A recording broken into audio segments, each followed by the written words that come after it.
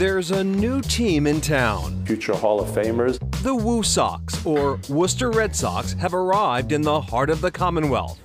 Looks bigger than Fenway's bullpen.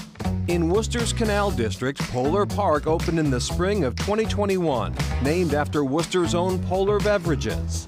I'm really excited that we got to name it after our brand, Polar Park, because it's got a nice ring to it, wouldn't you say? In 2019, we spoke to an excited Larry Lucchino in an empty parking lot.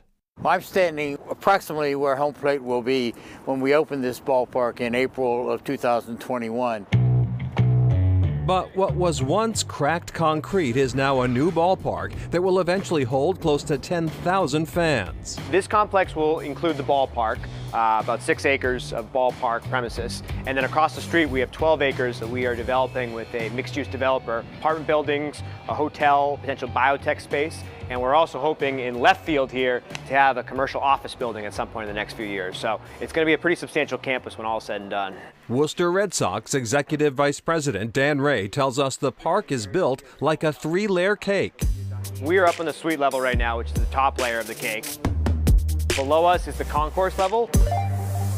You'll see the nice open concourse we have, and then below that is the field level and the sort of ground level of the building. Polar Park was built into the side of a hill, which is actually an advantage for incoming fans. We have our right field wall, what is basically our equivalent of the monster. That is the top of a street, but then on the home plate side of the ballpark, there's also a street level entrance. So every level of the ballpark has a different street level entrance, even though it's a three layer cake. The open air park with wide concourses should be a safe place to gather this baseball season, says Worcester City Manager Ed Augustus. As we're starting to come out of the pandemic and the ballpark is starting to open, it really is coinciding perfectly when people are looking for something to be excited about and optimistic about and places that they might be able to reconnect uh, and share experiences and enjoy something new and exciting. Minor League Baseball has historically been known as a very family-friendly product, and so I think you look at the ballpark in front of us, we have areas that kids can enjoy, we have areas that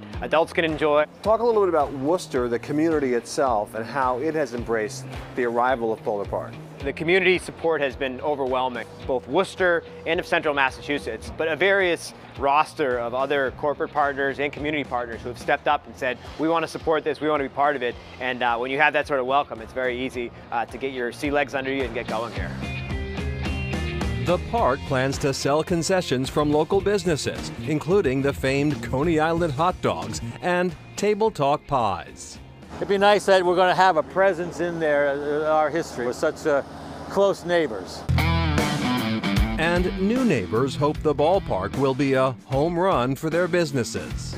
The Woo Sox are going to drive people to the stadium, but people coming in from different parts of New England are going to say, well, you know, this is an affordable baseball game I can go to. But I want to make a day out of it. What else is going on around here? You can't miss this place. There's such an attraction with that ballpark, with new businesses.